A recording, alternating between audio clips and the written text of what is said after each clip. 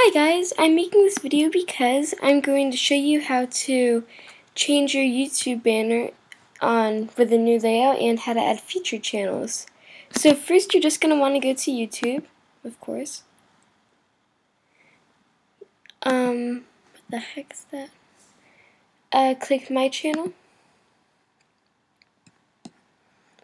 And just hover your mouse over here and then you see this little thing.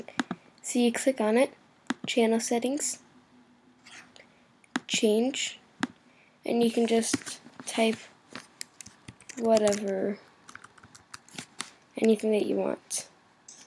So I'm just going to do this. And just click save. So then it's changed. And to add featured channels,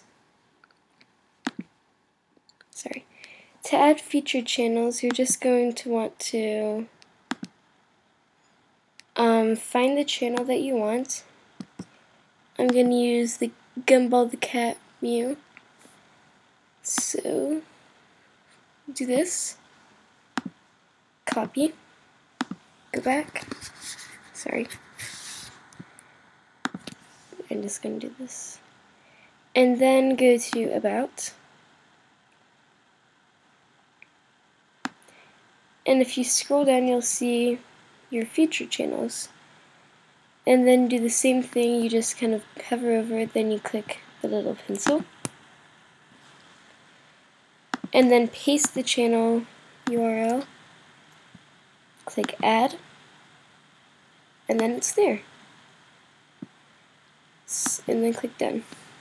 So that's basically it and thank you for watching and if it doesn't show up then just click see all.